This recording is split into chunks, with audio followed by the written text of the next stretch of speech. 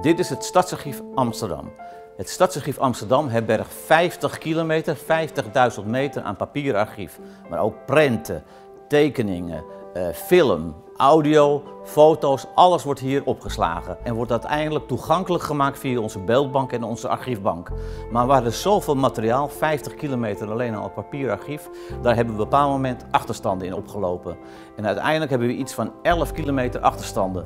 En die 11 kilometer achterstanden, daar hebben we een project voor verzonnen, project Omega. We hebben een speciaal team samengesteld van interne medewerkers, vrijwilligers, maar ook gespecialiseerde uitzendkrachten. Een man of 30 en dat team is in vijf jaar die 11 kilometer achterstanden aan het inlopen. Een gigantische klus. Ben nu bezig met het bewerken van het archief van de familie Boas. Zij hadden een diamantslijperij op de Uilenburgstraat hier in Amsterdam.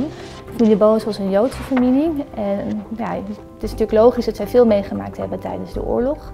Maar ook in de jaren daarna om al hun bezittingen weer terug te krijgen. Ehm, het is heel intiem om een familiearchief te bewerken, want je leest privécorrespondentie. Zoals de stukken die ik hier voor me heb liggen. Dit zijn brieven van het Rode Kruis, waarin de familie informatie krijgt wat er met andere familieleden is gebeurd in de kampen. Dat maakt echt wel veel indruk.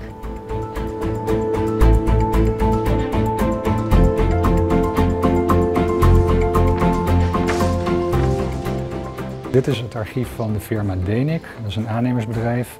Het heeft bestaan van 1813 tot eind jaren 70. Ze deden heel veel verbouwingen uh, en restauraties van bestaande panden in de stad.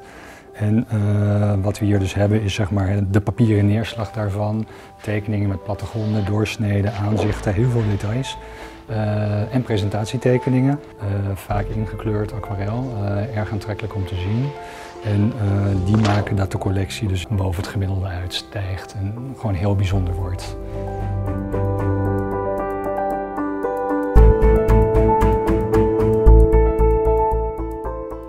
Ik uh, ben restaurator en werk zo ook mee aan het project Omega. En uh, restauratie is belangrijk omdat uh, objecten kwetsbaar zijn en zorg nodig hebben. dit zijn een aantal tekeningen die zijn binnengekomen en wij gaan ze uitrollen, droogreinigen en vervolgens vlakken zodat ze in onze bergingsmappen kunnen. En dan worden ze weer makkelijker te hanteren en ook te digitaliseren.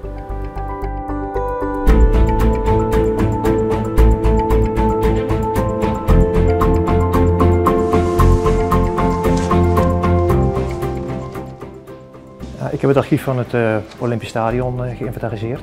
En daar hebben we onder andere 1700 affiches aangetroffen. Die werden gebruikt op, uh, op peperbussen werden die geplakt of bij sigarenboeren hingen die achter de raam.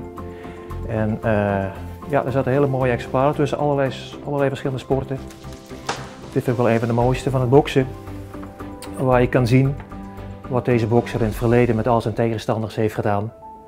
Hoe hij zijn knock-out heeft geslagen en hoe de bliksemflitsen uit zijn uit zijn handschoen komen. Echte kunstwerkjes.